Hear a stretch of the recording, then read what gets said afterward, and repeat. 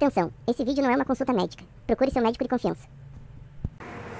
Olá! Meu nome é Vanessa Cristine, sou médica clínica geral e você está no canal Hipocondria. Você já sabe que a Covid é a doença causada pelo coronavírus, que recebeu o nome científico de SARS-CoV-2. Ela faz um quadro respiratório que pode evoluir desde resfriados até pneumonias gravíssimas e com óbito, e que tem acometido vários países no mundo todo. Aqui no Brasil, o primeiro caso foi confirmado no dia 26 de fevereiro, e de lá para cá, hoje, no dia 22 de março de 2020, já temos mais de 1.200 casos confirmados, com 18 mortes. Acontece que o número real de casos confirmados provavelmente é muito maior do que esse, uma vez que apenas aqueles pacientes que apresentam quadros mais graves é que estão tendo os testes realizados. Agora, no dia 20 de março de 2020, o Ministério da Saúde declarou a transmissão comunitária da Covid-19 aqui no Brasil. E o que isso quer dizer? Que qualquer pessoa que venha apresentar sintomas de resfriado ou sintomas de gripe, ou seja, febre alta ou baixa, dor de garganta, falta de ar, tosse, qualquer um desses sintomas vai ser considerado caso suspeito da Covid-19. Entretanto, somente aqueles que apresentarem quadros mais graves e tiverem sinais de alerta, ou seja, que comecem a apresentar falta de ar ou que tenha febre com duração maior do que um dia, dois dias, é que deverão procurar o serviço médico. Se você ou algum parente seu, algum familiar começar a apresentar sintomas de resfriado, ou seja, dor de garganta, nariz escorrendo, espirros, tosse, mas não tiver falta de ar nem febre persistente, deve ficar em casa fazendo uso de medicação sintomática. Tá, mas como que eu vou ficar em casa se eu tenho que trabalhar? A Sociedade Brasileira de Infectologia solicitou ao Ministério Público do Trabalho que os, as pessoas que precisarão ficar em casa por causa desses sintomas de resfriado ou por pessoas que estejam com a doença em casa sejam afastadas sem a necessidade de apresentar esse atestado médico.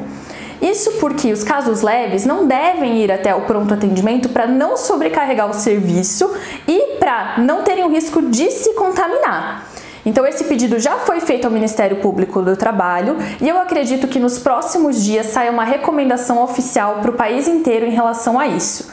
Então, se você tem sintomas de resfriado e não tem sinais de gravidade, você já deve ficar em casa em isolamento por pelo menos 14 dias. Então, quem vai para o pronto atendimento? Quem vai para o pronto atendimento é quem apresenta falta de ar tenha febre por mais de 24 ou 48 horas, porque aí nesses casos pode ser que seja um caso de influenza, gripe, aquela H1N1 que a gente já conhece desde 2009 e que tem um tratamento definido, que é o Tamiflu. E a eficácia desse tratamento é maior nas 24 e 48 horas. Então essas pessoas que apresentam febre por mais do que esse período devem sim ir ao pronto atendimento para receber essa medicação. Eu reforço que essa medida do isolamento domiciliar é praticamente a única coisa que a gente pode fazer no momento, porque a gente ainda não tem vacina nem tratamento eficaz contra isso. Ai, Vanessa, mas logo sai a vacina. Já estão vários pesquisadores descobrindo, fazendo estudos e logo logo isso aí vai ser liberado. Então, gente, ainda ontem eu assisti a um vídeo de um pesquisador renomado brasileiro, um biólogo, chamado Atila Yamarino, e que eu recomendo muito que vocês assistam. Nesse vídeo ele comenta que o tempo aí estimado para que tenha uma vacina eficaz contra a Covid-19 é mais ou menos um ano, um ano e meio, isso nas melhores das possibilidades. Ou seja, o que a gente realmente pode fazer nesse momento é ficar em casa e seguir as recomendações que os governos têm passado pra gente. Ai, mas eu ouvi falar que tem uma vacina de cachorro que funciona para tratar o coronavírus. Até existe uma vacina que é destinada a animais, mas é um outro tipo de coronavírus. Não é esse vírus, o SARS-CoV-2, que está causando a Covid-19, tá? Então nem pensar, não adianta fazer uso desse tipo de vacina. Ah, e medicamento? medicamentos. Eu ouvi falar que a hidroxicloroquina, que é um medicamento usado para artrite reumatoide, está funcionando muito bem para os casos de Covid-19. Isso é até verdade. Teve um estudo recente que saiu e que testou esse tipo de medicação no tratamento da, SARS, da, da Covid-19. Entretanto, o número de pacientes ainda foi muito pequeno. Então não está liberado ainda, não está recomendado o uso dessa medicação, pelo menos até o dia de hoje.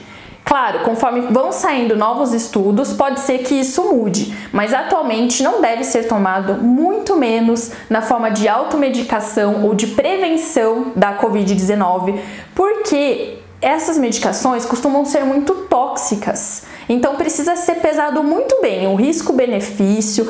Então, somente em casos muito graves de pacientes que estejam em UTI é que esse tipo de tratamento vai ser considerado, ok? E o Tamiflu, o oseltamivir? Como já falei para vocês, como algumas vezes vai ser difícil diferenciar a influenza que a gente já conhece da Covid-19, o médico pode sim indicar esse tratamento, mas também não deve ser usado na forma de automedicação. O médico vai avaliar e vai passar quando não puder ser descartado que é Covid-19 ou vai suspeita de influenza também. E antibióticos? Veja, antibióticos como a azitromicina, por exemplo, são para tratar infecções bacterianas. A azitromicina mesmo tem alguns outros usos porque tem uma ação anti-inflamatória.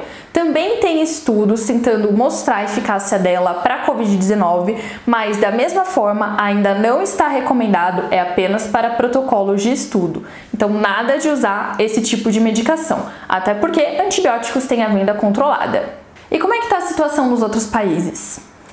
A Itália tem evoluído de uma forma bem mais crítica do que a própria China, que já está com a situação bem mais controlada. A Espanha também tem aumentado muito o número de casos, os Estados Unidos também, e aqui no Brasil a gente está indo pelo mesmo caminho. A nossa grande vantagem é que a gente tem alguns meses de experiência desses outros países, para que a gente consiga aprender com os erros deles. Então, mais uma vez, a recomendação: fique em casa. Até a próxima. Tchau, tchau.